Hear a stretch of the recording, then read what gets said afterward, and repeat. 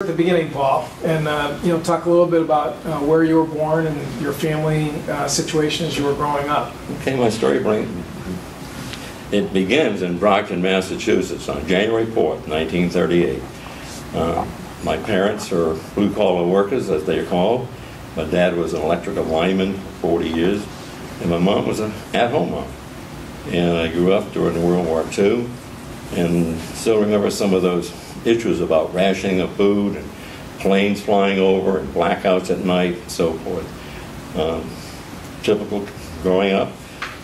Attended local schools, um, played sports. Didn't have Little League in those days, but I did play high school baseball and a little bit of basketball for the church league.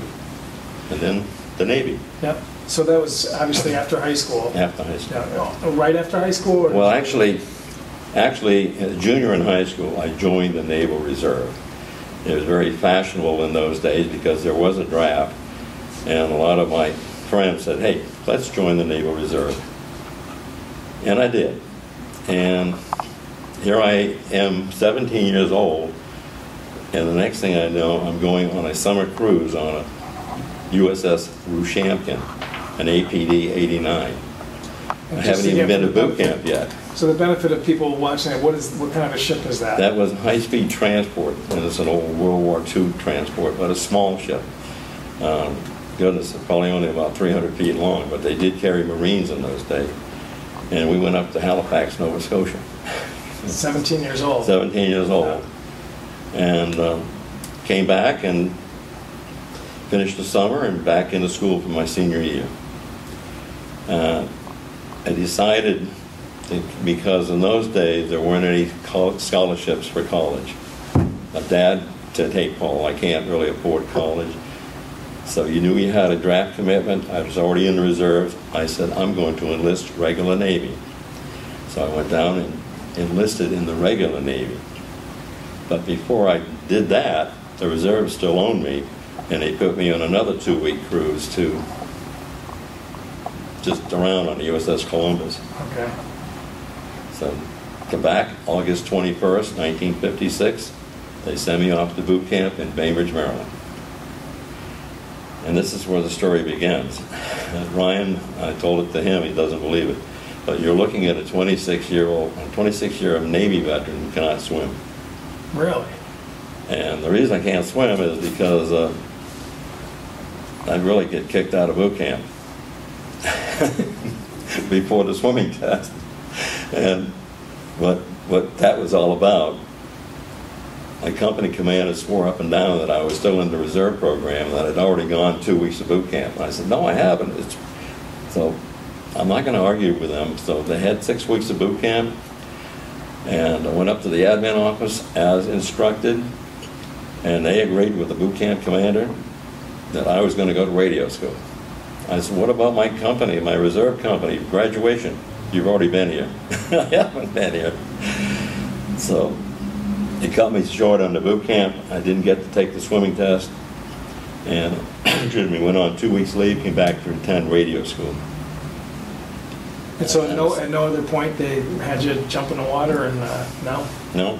It's not Don't tell, don't tell some of my friends that. No, I, I didn't really. And so anyway, my radio school was a six-month school in Bainbridge, Maryland. And basically, the school was Morse code, learning how to copy Morse code. So Bainbridge was a... Bainbridge, was that- Maryland. Was a Navy base or? At that time, it was boot camp. Uh, it's north of Baltimore, Okay, uh, probably about 40 miles north of Baltimore. right. It's gone now. It's completely vacant. So how long was the radio school? Six months. And, uh, And upon graduating from that school, I got orders to my first ship, the USS Hale, a destroyer, out of Newport, Rhode Island. So Morse code, I mean, was literally the way they That's- still communicated? at That's that the way we communicated. Everything was in Morse code. I still remember that to this day. It's like a second language. Isn't that amazing? Mhm. Yeah, yeah. Yeah, How long did that last? I mean, when did Morse code kind of go by the boards? Uh, I would say in the early 70s. Okay. A lot of the merchant ships still use Morse code, but uh, Navy ships were going into teletype and satellites. So, Yeah. So anyway, I'm sorry, so you were, uh, it was the USS Hale was your first assignment? First assignment. yep. And that ship was what we call a steamer. We would leave Newport and we would go everywhere. My first cruise in 1957 was a brief stop in Annapolis, Maryland. This is in July, I think, of the year 1957. We picked up midshipmen. And then we attended the largest international Navy review in Norfolk, Virginia, and then on to Rio de Janeiro. And we crossed the equator. So I'm not sure if you know what crossing the equator is, but in those days, there was a big initiation. Yeah. You would call it hazing today. So we survived that and went into Rio de Janeiro. So is that classified, what the hazing consisted of, or is that something we can talk about, or? Well, we had what they call the royal baby, the royal dentist, the royal barber, and um, I, I do have a picture we can show you later, but uh, it was quite an event. It's, And they said today they don't do it. Right. You crawl on your hands the whole length of the ship, and they actually soak what they call a shillelagh in salt water for a week, and then let it get real stiff, and they sort of Paddle you. make a, make a sailor out of you. Yep, okay.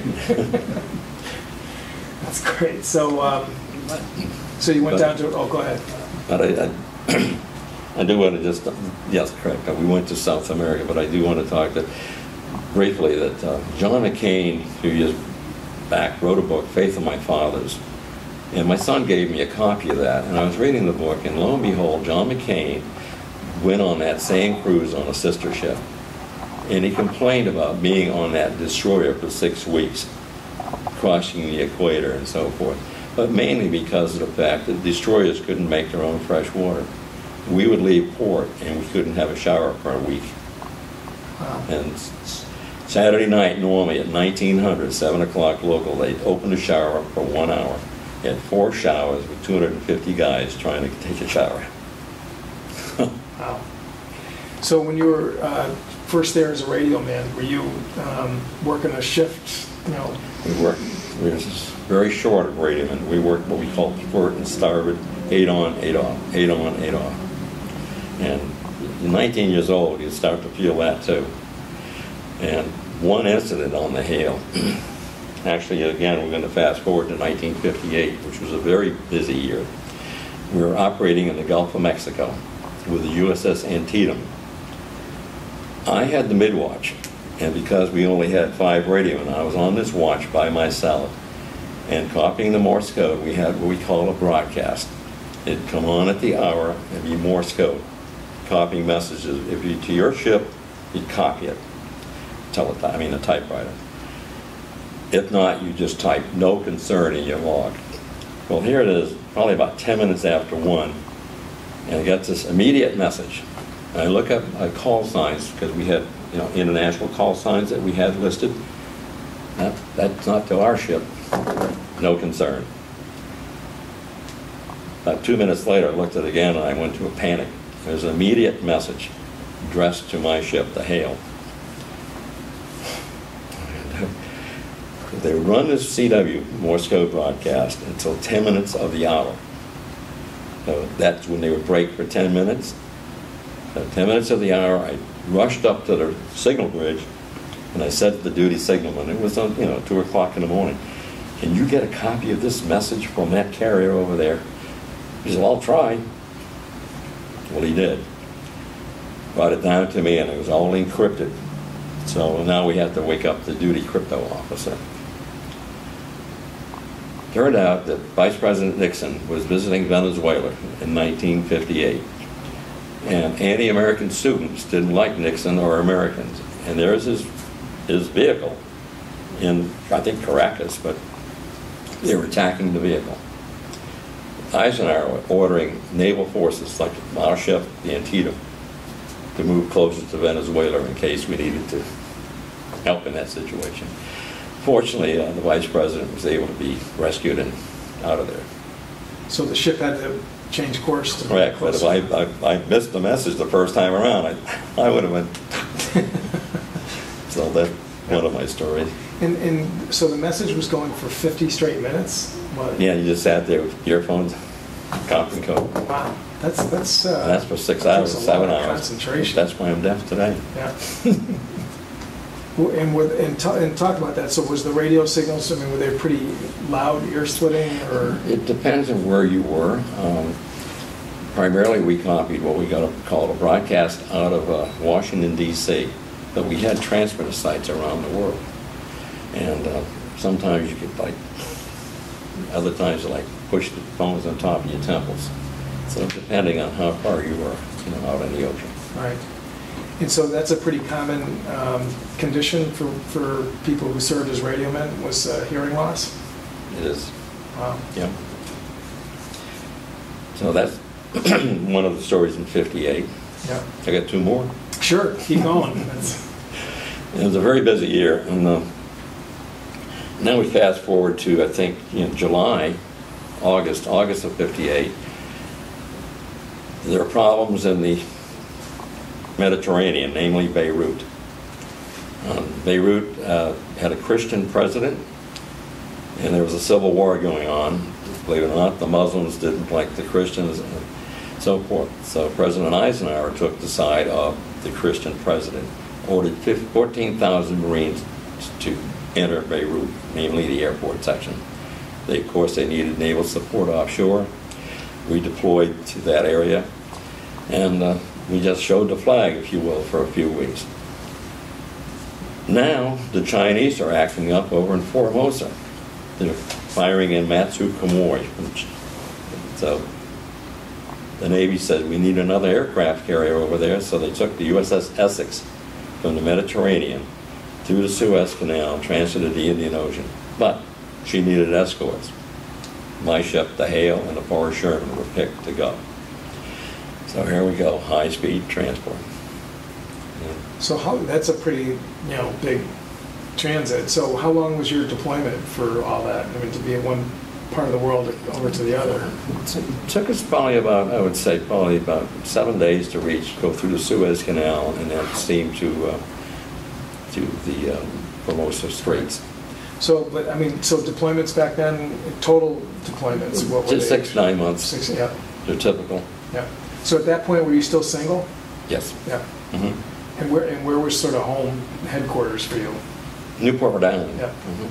But we made that transit with the Essex, and uh, now they released us, but they decided to send us to Japan for Liberty. And we spent three days in Japan, and they sent a message saying, okay, continue transit home across the Pacific. So that turned into a world cruise Yeah. in 1958. So what was Japan like in 1958? Wild, but Really? very friendly, very, Yeah. very friendly. Uh, and little did I realize I'd be back there in 10 years. It, was, it was a wild and crazy time. So it was Tokyo that you were I, I didn't get up to Tokyo at that Yeah. time. Uh, we just stayed in Yokosuka. We were only there three days. Excuse me, but uh, being the radioman, short of radioman, you had maybe one day liberty and then two days duty. Right. So you had to kind of Correct. pack your uh, R and R. Correct. Short time period there. Um, Okay, so then you headed back to Newport? We Rhode came Island? back across Pacific. We stopped in Honolulu, um, left Honolulu. We were supposed to go to San Francisco, and lo and behold, um, an Air Force uh, jet was lost at sea. Uh, they were in our vicinity, so they dispatched my ship to go search and rescue. Uh, and we did find the body of that pilot and called in a helicopter. And they medevaced him or took him away to uh, back to Pearl Harbor. So that delayed our visit to San Francisco. So we went to San Diego. So, and once you got back to Rhode Island, and I mean, it looks like you were on the East Coast for a number of years after Correct. that. Mhm. Yep. And why don't you tell us about that? Well, we went back to, uh, you know, Newport, but that didn't last long. We went then to a North Atlantic cruise. And we hit some very rough seas because now it's winter in North Atlantic. And we're taking on seas 35, 40 feet and knocked our sonar dome off the bottom of our ship. So we had to go into Portsmouth, England for two weeks, Her Majesty's Dockyard, Portsmouth. So that was okay because we got up to London and saw some good things. And, and of course, HMS Victory was there in uh, Portsmouth, so we were able to tour that and, Lord Nelson and things like that. Right. And uh, by then, um, I mean, England was kind of recovering from the war and Oh, doing, doing correct. a lot better. in Right, terms of right, The mhm. society there, so. um, And then, and then it looks like, again, you were in in Brockton, Weymouth, Bainbridge, and Weymouth, Mass. again during the Well- early 60s. What happened is, uh, well, I met the woman of my life when I was still in the Navy in Newport, Rhode Island.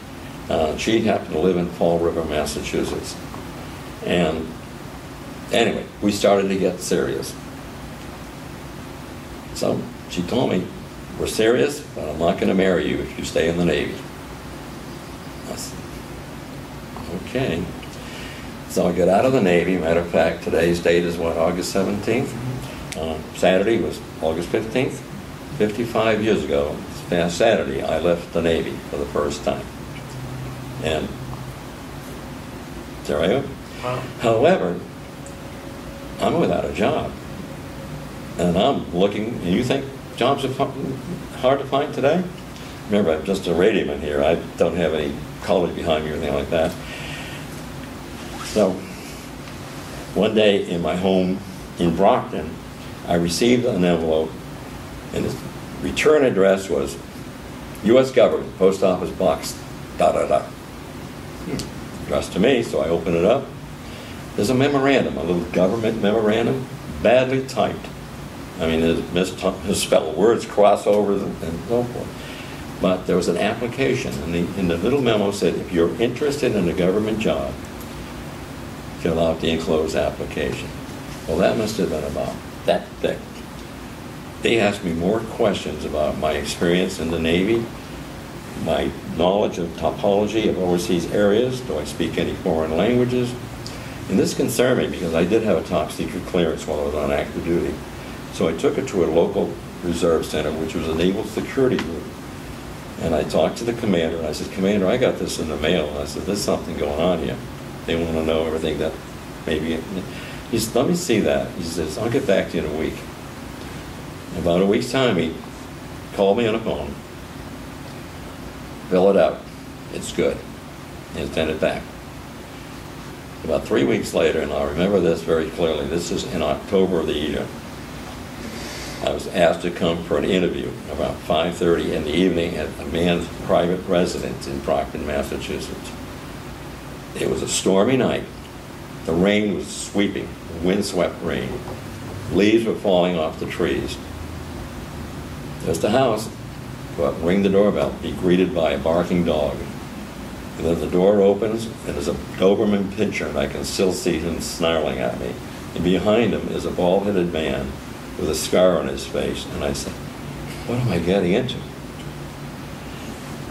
So he backs the dog off, invites me in, we go into his living room. And he sits down and he gives me a piece of paper to read. And he says, I want you to sign that. And I looked at it. Do you understand what you're about to sign? I said, yes, sir. Secrecy oath. Gentleman was a CIA agent, recruiter. So I said, what do you want with me? He goes, oh, I want to talk to you. So he ran through a series of questions with me. And um, pretty in-depth questions, you know, particularly about my Morse code abilities and so forth. And um, so I was really, you know, being 22 years old, I'm, wow, you know. So I said, look, I'm engaged now.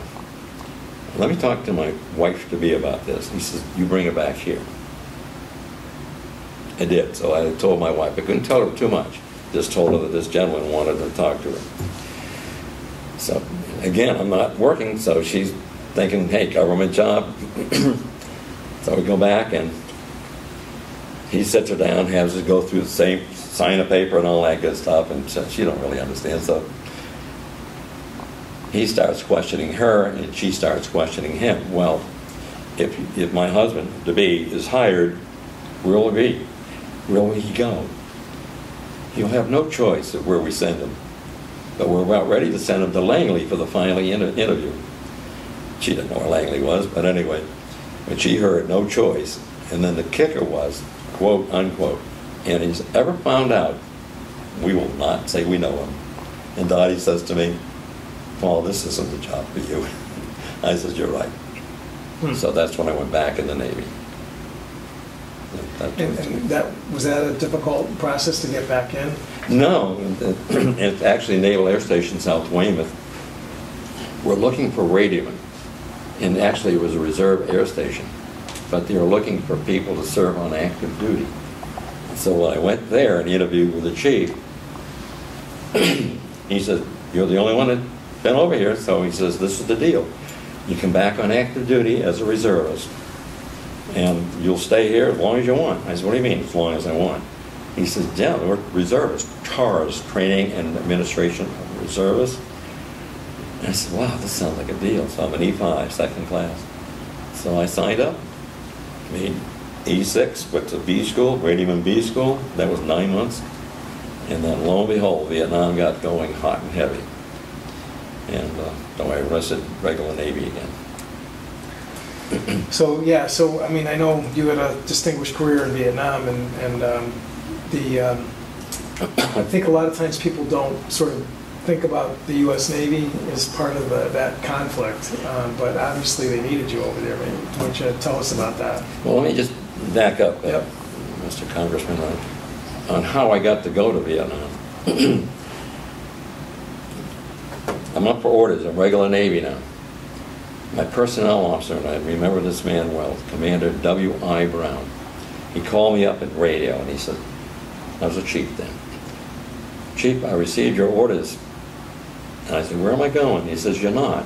And he says, I'm not. He says, no, they're to Newport, Rhode Island. I says, Commander, I said, I live in New England, it's my home. Then I go and it's the USS Salamonie, it's a fleet oiler. That was out the orders for you. So he says, I told him to cancel. I said, well, thanks a lot. Two weeks later, he calls me again. Got orders. Where am I going? You're not. USS Pawcatuck, home ported Mayport, Florida. Oh, Oil it. You're not going. Commander, what are you doing to me? Two weeks later, message orders report within 30 days. Commander, 7th Fleet Staff, embark USS Providence, home ported Yokosuka, Japan. These are your orders.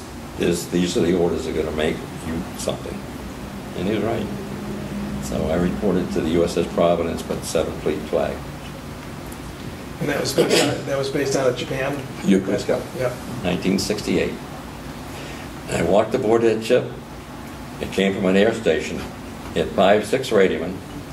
We averaged six, 60 messages a day on, at best, 60. Walked aboard, the lieutenant said, welcome aboard, chief. You're my message center chief. Okay?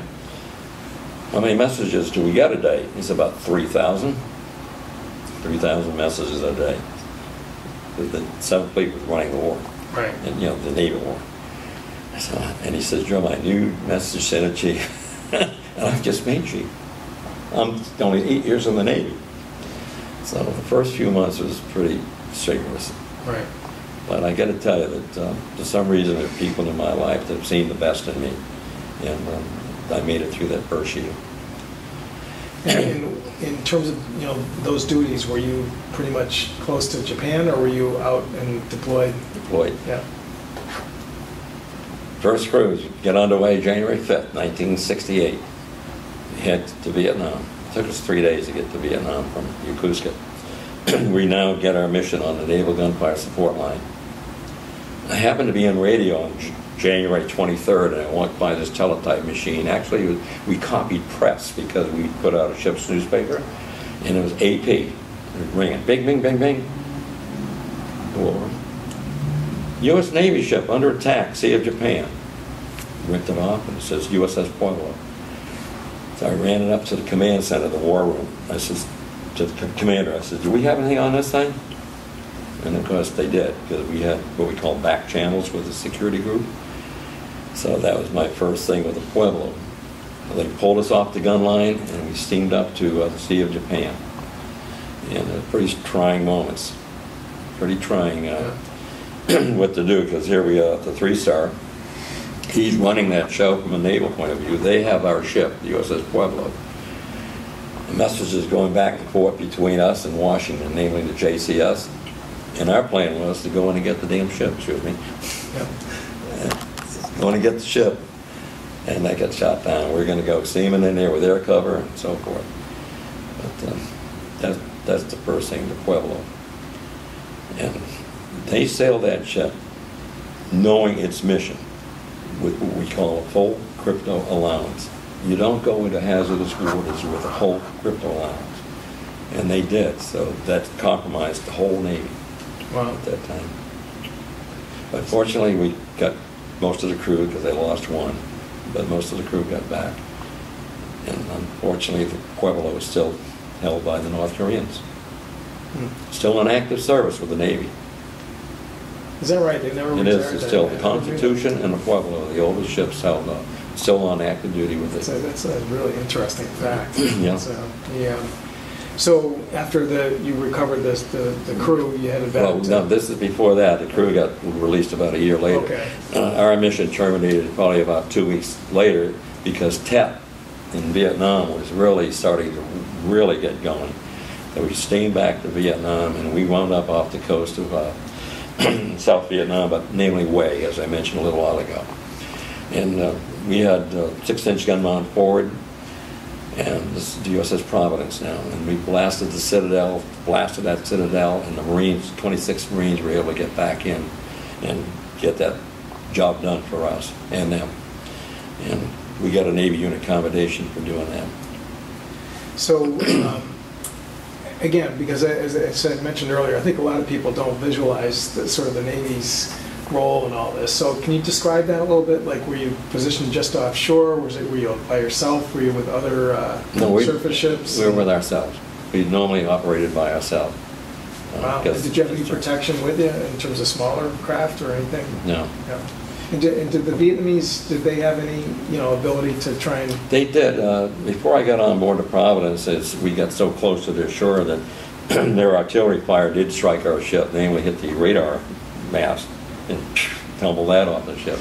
Unfortunately, that was before I reported on board, but we'd get pretty close. yeah, and they, and they would take some shots at it if, if they We could? do. Yeah, We do another operation called Sea Dragon, and Sea Dragon was, we'd make these runs at night, and this time it was two ships.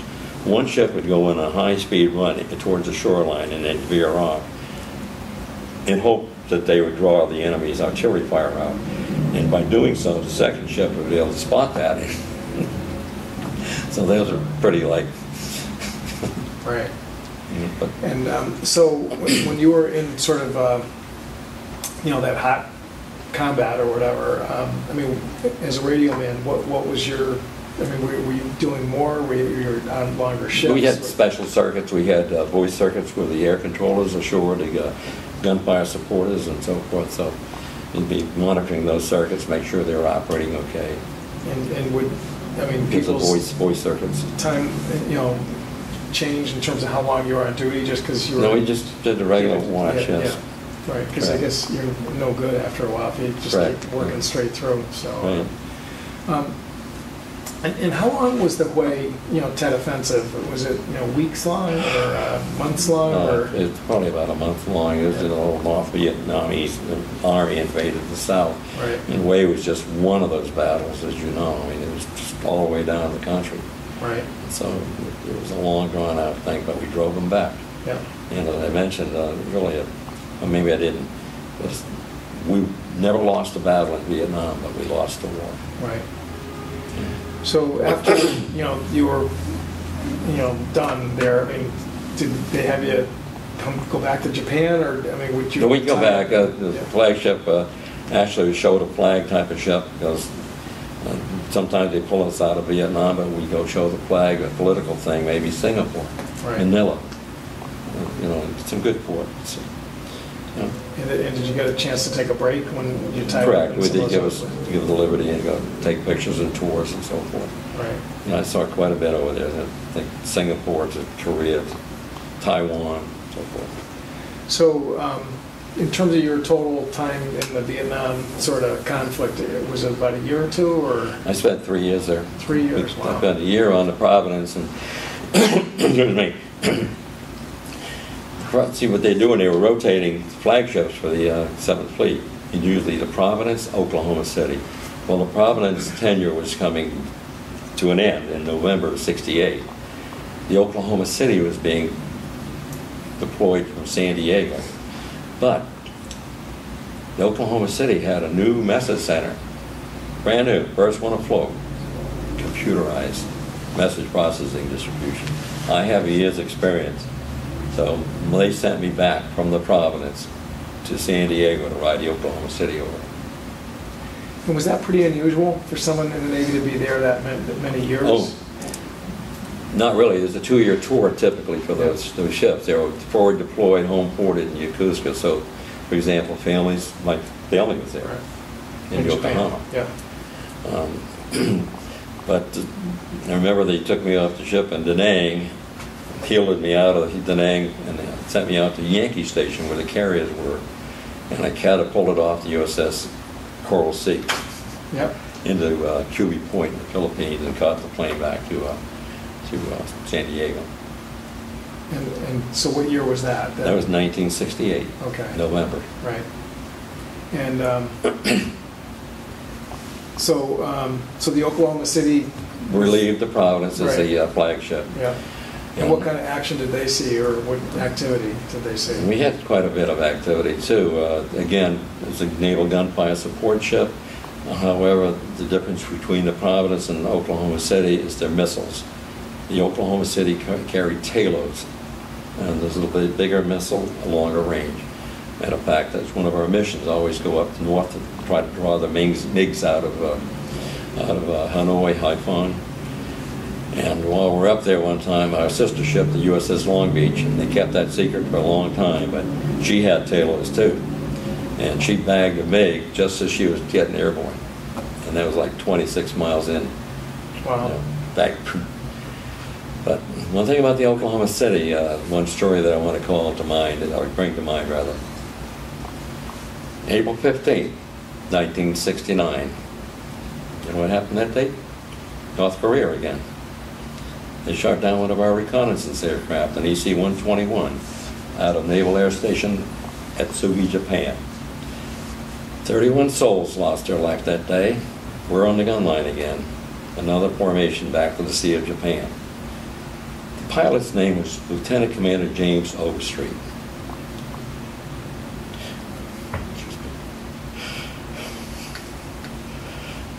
Oops, I'll be right in a minute. That's okay, they they got some water in there.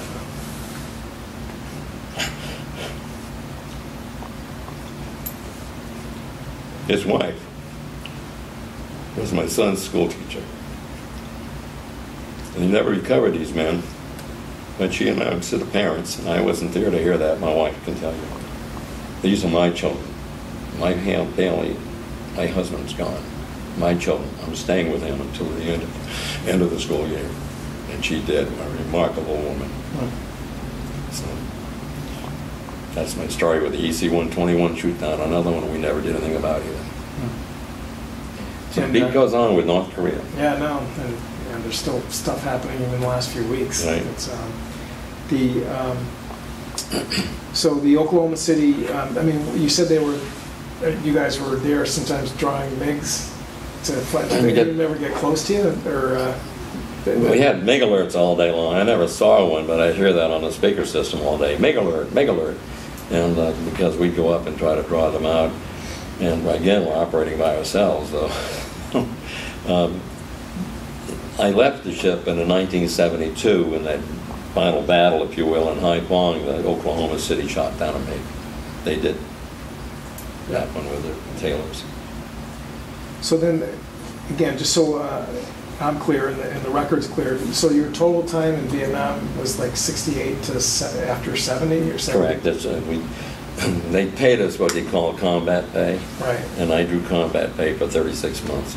Even though it wasn't, you know, like 30 days, we'd only sometimes be there for two days, but within the combat zone, as they called it. Now, one issue, uh, you know, just fast forwarding to the present for a moment, because I know you've been a pretty strong advocate uh, for Navy veterans who uh, were in that era. and- Agent Orange. Is the Agent Orange issue and the Blue Water Mhm. restriction that's there. And um, so even though you were in the middle of a lot of this combat there in Hue and then up in the north there, when you Mhm. described that, um, again, the, the rules under the VA in order to get Agent Orange um, benefits is that you actually had to step foot on, on the, the land of, of Vietnam. That right? Maybe we can talk about that a little bit. Well, that's true. The VA ruling is that, you know, you have to touch, touch boots on the ground, as they call it. Um, and I find that kind of like strange. For example, I was talking to Ryan McKenna before you came in. Um, the Oklahoma City was deployed to Vietnam in 1964. Again, it was just a short two years for them. But they did go up the Saigon River. And because they went up the Saigon River and, and had some liberty in Saigon, the crew members who have presumptive diseases are recognized by VA for having that disease. My question is, what Agent Orange was in Saigon? Meanwhile, meanwhile, those that served in Da Nang Harbor month after month, and we desalinated the water, the whole thing, and, and uh, Da Nang was loaded with Agent Orange, was denied any benefits for any recognition, I should say another story about one of my shipmates. Uh, you know, I attend Navy reunions. And I was in Buffalo, New York, probably about eight years ago, and had a reception before the reunion really started. So this man came up to me and he tapped me on the shoulder. You're Chief Dillon, aren't you? And I says, I am. And he says, you probably don't remember me, but I'm Wayne Fleischman. I said, says, of course, Wayne. I used to work for me in, on, the, on the Oklahoma City. He says, yeah. He says, I came over here purposely. I only live in Binghamton, New York. But I came here, I knew you were going to be here because you were my chief in Vietnam. And I said, well, gee, that's really nice of you to remember me. And he said, I also want to tell you that I have stage four prostate cancer. And I said, any recognition from the VA? No. Three months later, he passed.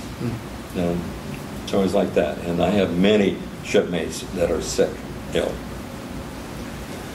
Well, Yeah. again, if nothing else, this um, taping, you know, will help sort of educate a lot of people Yeah. about the fact that there's this kind And- of strange restriction. And the other irony is the fact that I did have boots on the ground, albeit only eight hours. Cam Ranh Bay, Vietnam, in 1968, August. Why did I go ashore there? Again, being a communicator, we're bringing a new US, USS New Jersey over. They upgraded their gunpowder suite, did nothing to improve our communications. So we went ashore to discuss how we're going to communicate with the New Jersey so that she wouldn't miss any of her gunfire support missions. But my eight hours qualified me for boots on the ground. Eight hours. Meanwhile, 36 months in the harbor doesn't. Amazing. So, so I mean, at some point, then your time in Vietnam came to an end, and, and then you headed back uh, to the East Coast. I got orders to Naval Communication Station, Newport, Rhode Island. And, and what kind of work did that involve? Again, communications. Uh, I ran a message center. Uh, we took at those time at that time. Newport was busy with destroyers. As a matter of fact, Commander Cruiser, Deport, uh, Cruiser Destroyer Land was there. Must have been 50, 60 ships on board there. But that downsizing, they started to pull all those ships out of there, and it was my job to consolidate all the communication efforts. So we did that successfully.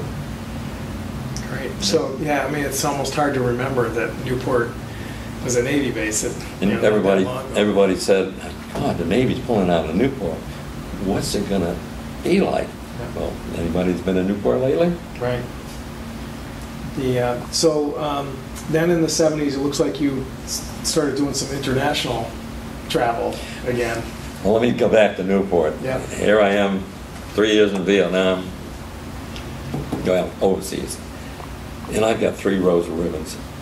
And I looked at my fellow chiefs, they got National Defense Good Conduct, chiefs. I said, what's with you guys? What do you mean? Don't you guys go to sea? No. You don't go to sea duty? No. What do you do? We go to type three. What's type three?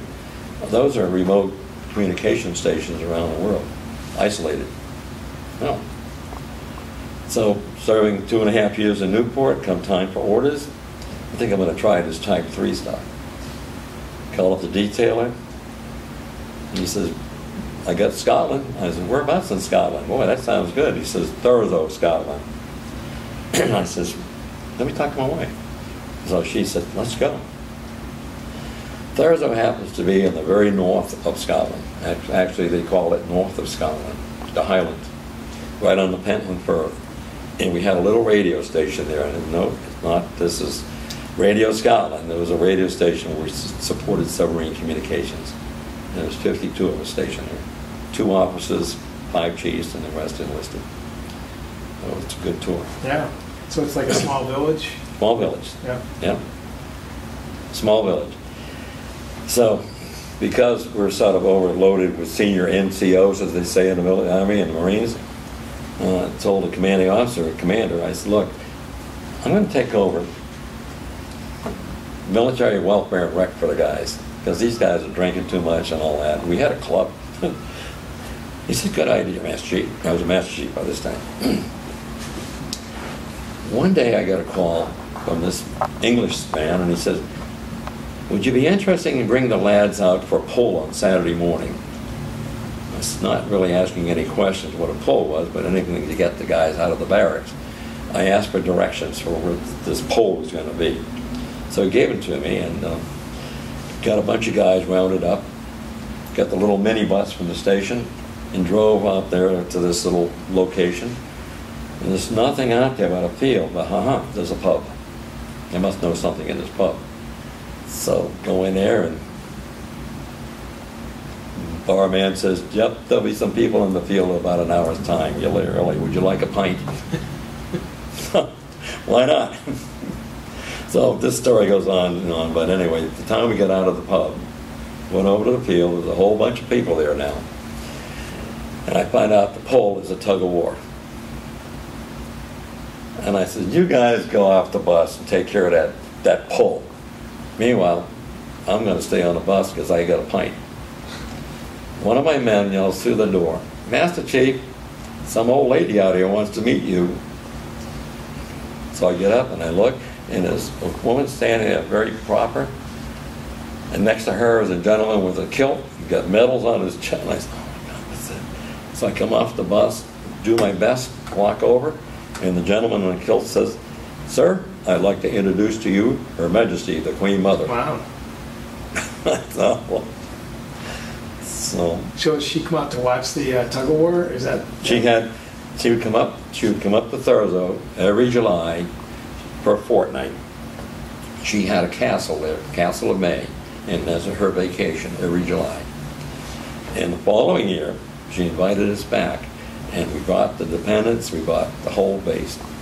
And the first thing she said, because I was there when I got off the bus, she says, "Thank you for coming back." That's very nice. What a great story. I got a picture over here. Is that right? Oh, awesome. Yeah. Yeah. So um, in terms of the, you know, it it was submarines that you were doing most of your uh, communications work with? Mhm. And so obviously this is uh, Cold War. Cold War. And I mean, that's obviously the North Atlantic uh, was a pretty hot place. Right, the spec ops they were doing, so forth. Yeah.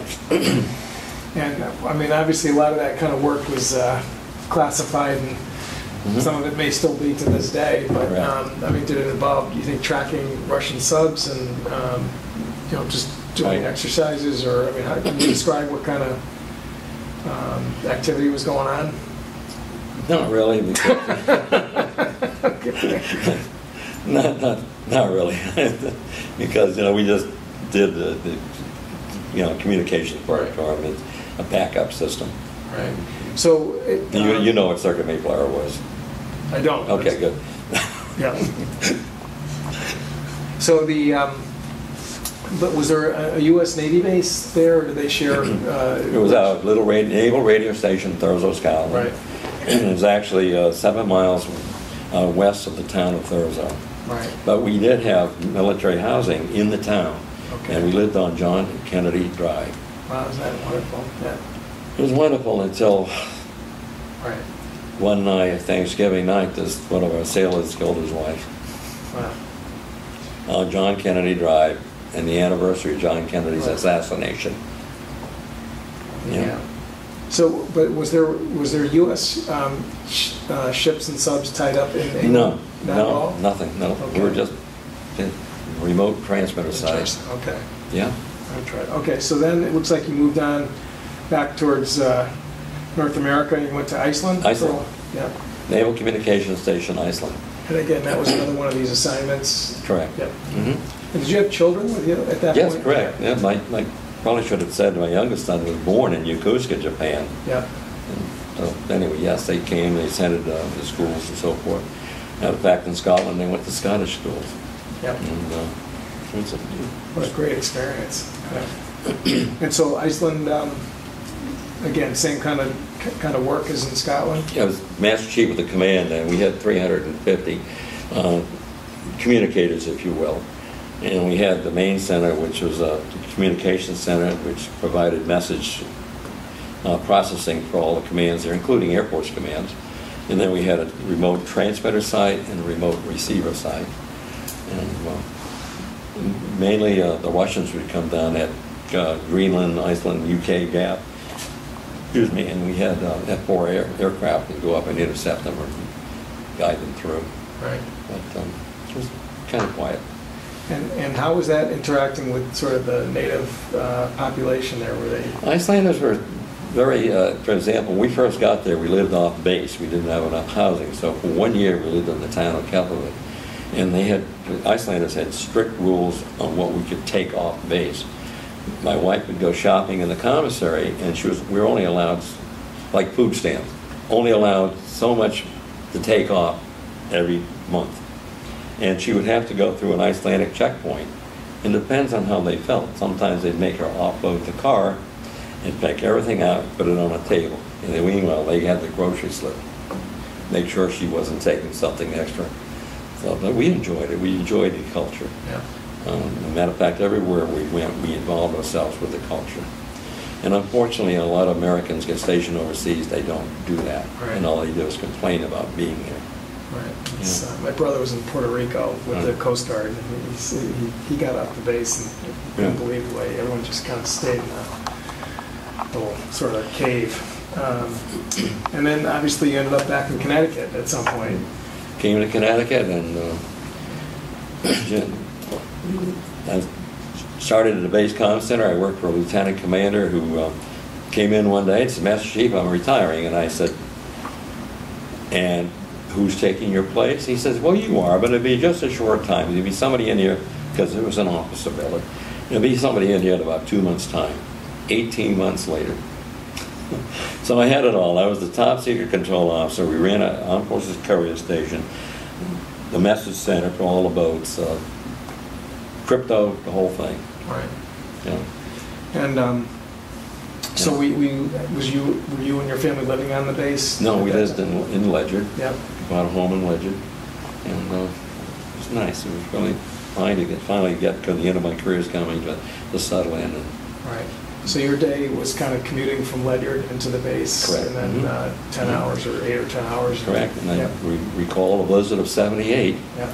They secured everybody from the base around 1100. It took me an hour and a half to go from the base to my little house in, in Ledyard, Right. and I got stuck there for three days. And my people on watch had just communicated with them on the phone, telling them, okay, you're gonna have to do the best, and and so forth, and they did. Right. So, um, so you kind of made the full circle back to New England, uh, and uh, and then uh, it looks like it, by 1980 was when you decided it was time to do something different. Gonna retire, Yeah. yes, sir. And uh, so it's 26 years altogether. 26 years, which, you know, it's like three years reserve time, but it was active reserve time, but accounted for pay, so I claimed 26. And what kind of work did you do after you left? When I left Millstone, believe it or not, I worked with Sonalysts for three years. Uh, I got hired and I was in the communication section. And my pre- first project was SIAS, Sin- Single Integrated Antenna System for the next generation boat, which I'm assuming is the Virginia class now. But um, somewhere along that contract, uh, it was coming to its end, and they got a contract with Northeast Utilities for emergency planning. And they sent me over to Millstone. And I spent a year over there working with Sonalysts, but uh, for the utility, uh, doing emergency planning procedures. And So And you ended up going to work for that? the utility offered me a job, and, and basically I was a communicator. So the job ended up managing all the telecommunications for the power plants, the station, all how three many- units. How many years was that? I, I, I- worked there 13 years with Northeast Utilities. Okay. yeah. Yeah. Good.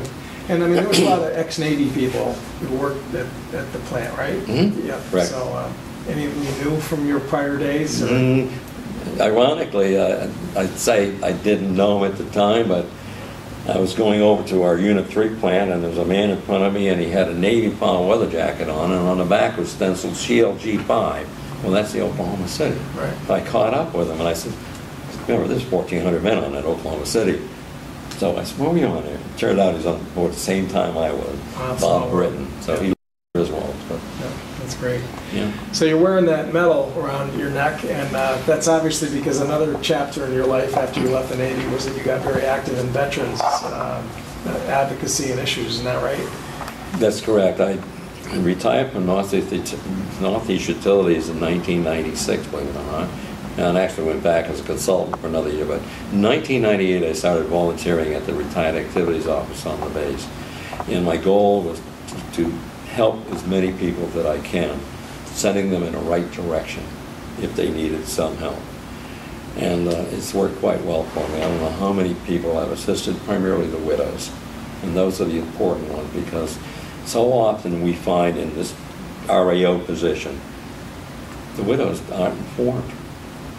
I had one widow come in at age 85, her husband passed away, and she, I've never written a check. I've never written a check. So it's giving these people some assistance and helping them out the best we can. And where, where did you set up shop, or where do they have you working? It's in at? Clayton Family Service Center, uh, Building 83 on the submarine base. Okay, so you're right there, back on the base. Back on the base, Yeah, and um, we're having our annual seminar here in October, so gearing up for that now. right. And you're also um, involved with a veteran service organization as well. Now, it's- No, correct, uh, Veterans Advocacy Group for maintaining the benefits and for promoting a strong defense. And I've been with them again since 1998. right. And I serve as a regional vice president here for the Northeast, and it's a good group. They do a lot. Made up of all ranks, all services, and uh, fight the battle for us. Right. And you've been involved um, in congressional office, Veterans Advisory Councils, uh, Congressman Rob Simmons, my predecessor, and And you. and now you're working today. Correct, correct. And it's a pleasure to be able to come to those meetings and uh, just, because it, Ryan will tell you, there's many people out there, and I don't like to use the term, dumb veterans. They don't understand the benefits that they can Right. have. Yeah. Yeah. So, well, not many people get that, uh, that medal that's around your neck. Uh, The Veterans Hall of Fame is a pretty elite group of uh, veterans in the state of Connecticut. And um, what year did did they? 2012, Yeah, class of 2012. which was one of the earliest classes, too. I think it was third, second year out, believe, yes. So that's uh, even more of an elite group there. And, um, um, you know, we're lucky to have you in Connecticut, obviously. uh, Well, thank you. Still serving the- the nation, really. And, Yeah. you know, that started way back in 1955. Thank you. Fine. Yeah, so, well, is there anything else that we haven't covered that you want to I just want to thank you for the opportunity to, to come here today and thank uh, Connecticut Central State University. Yeah. Uh, You know, I have one other question for you. Now, you have a a son who serves in the military, right? I have two sons. Maybe Well, I have should- three sons. My Yeah. oldest uh, is, lives in Griswold, and he, he wanted to, but he changed his mind. But Yeah. yes, I have two Marine sons. Uh, My son Jim retired a year ago in May. Uh, He was a colonel in the Marine Corps, served in Iraq. My youngest is a colonel. He's serving now uh, for the 3rd MEF, Camp Pendleton, California. Yeah, So the Dillon, 24 years he's got in, the Dillon contribution to our nation is multi-generational. right? Yeah, so, well, good. Well, thank you, Paul, for taking the time, and we, Thank you you, know, sir. we're really honored that we we helped sort of make you part of the Library of Congress's uh, archive. And Thank you for inviting me. Yeah, great. All right. Thank you, sir. Yeah.